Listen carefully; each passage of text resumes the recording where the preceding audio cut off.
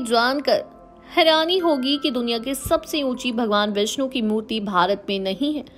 ये एक मुस्लिम देश में है।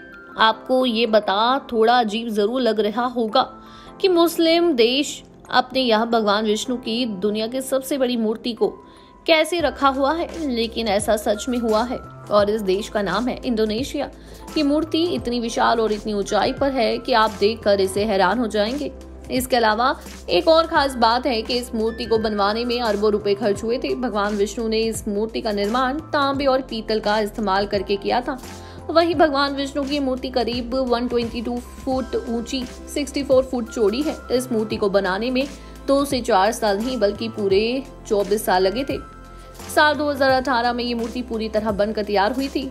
अब इसे देखने और भगवान के दर्शन के लिए दुनिया भर से लोग आते हैं। इस मूर्ति के बनने की कहानी भी बड़ी ही दिलचस्प है। कहते हैं साल 1979 में इंडोनेशिया में रहने वाले मूर्तिकार बप्पा न्यूमन न्यूआर्ता ने एक विशालकाय मूर्ति बनाने का सपना देखा था।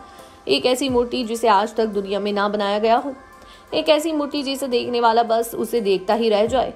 लंबी प्लानिंग और पैसों के इंतज़ाम के बाद उस मूर्ति को बनाने की शुरुआत 1994 में शुरू हुई। हालाँकि बजट की कमी से 2007 से 2013 तक मूर्ति बनाने का काम रुका रहा, लेकिन उसके बाद जब इसका काम दोबारा शुरू हुआ तो फिर पूरा बनने के बाद ही खत्म हुआ। बाली द्वीप के उगासन में स्थित इस विशालकाय मूर्ति का निर्माण करने वाले मूर्तिकार बप्पा न्यूमन न्यू आर्ता को भारत में सम्मानित भी किया गया था।